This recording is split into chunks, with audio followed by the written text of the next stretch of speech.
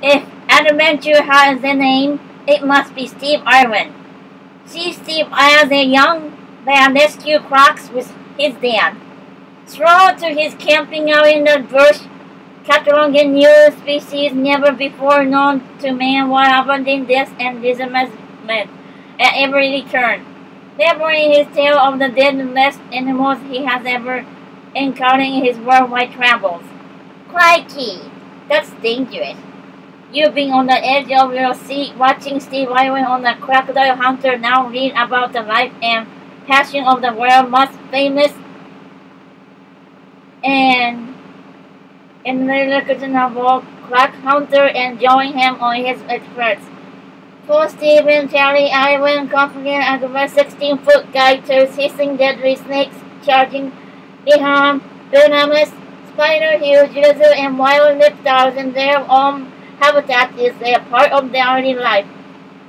Steve's love for uh, animals began at an early age when his parents created an animal research instrument in him, respect for Australian native wildlife and some of the most dangerous creatures on earth.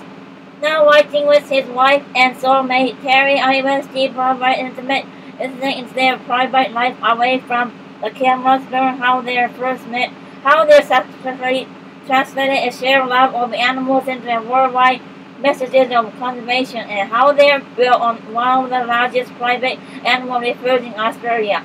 Experience day in the life of the crocodile hunter come on and the water is fine. Irwin has many exciting tales to tell. Book this. Steve Irwin is the host of the smash hit Animal Planet show. The crocodile hunting along with his wife Terri runs one of the largest private animal refuges in Australia. This is his first book.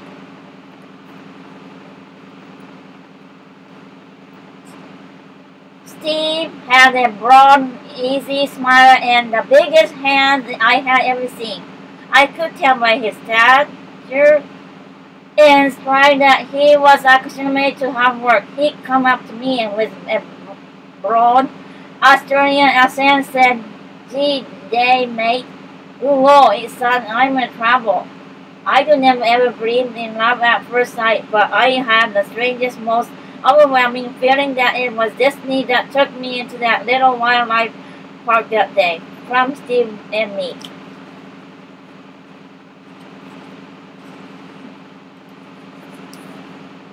When the Terri Lawrence was 27 years old, she took a vacation that changed her life.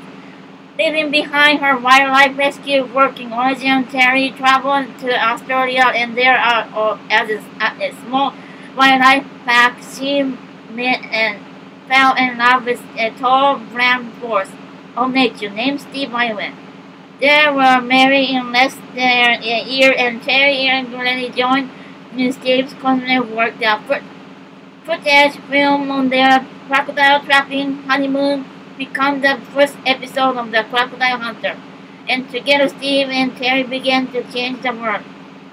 In Steve and me, Terri recounts the unforgettable adventure they shared wrangling venomous snakes, saving deadly crocodile from poachers, swimming among humpback whales, a uniquely gifted naturalist. Steve was first and foremost a wildlife rodeo dedicated to rescuing men.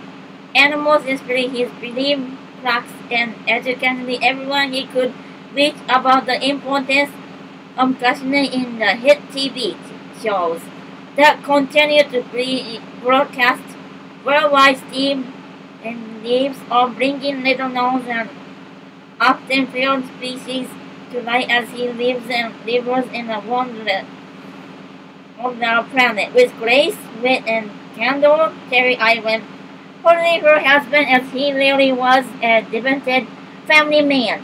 A family dedicated environmentalist and modernist pro who spoke to Miriam on behalf of those who could not speak for themselves.